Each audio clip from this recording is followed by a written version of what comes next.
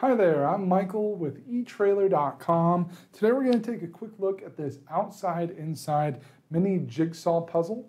As you can see, this is a colorful road trip themed puzzle that is four inches tall and six inches wide. Uh, it is going to include 150 puzzle pieces, so it is going to be a great way to pass time on a rainy day while you're at the campsite, uh, stuck indoors.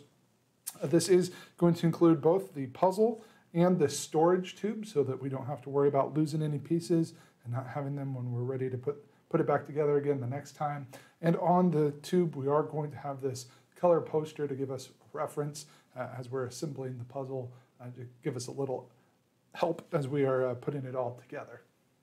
This is constructed of recycled Esca puzzle board, so it is going to be very durable. Uh, the pieces themselves are about three quarters of an inch by three quarters of an inch. Some are a little bit uh, wider, some are a little bit taller, uh, depending on the shape, but they are pretty small, so you definitely want to make sure that uh, you're using this with age appropriate uh, kids. If you're with little ones, uh, this uh, could be a potential choking hazard, so be sure to be safe about that.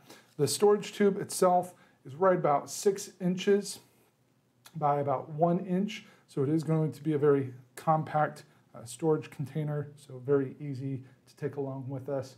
Uh, even if we're backpacking or something like that, we can uh, have it on hand just in case we need to have some downtime.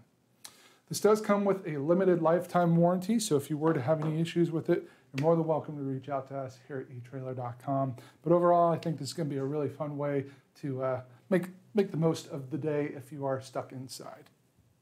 That completes our look for today. Again, I'm Michael with eTrailer.com. Thanks for watching.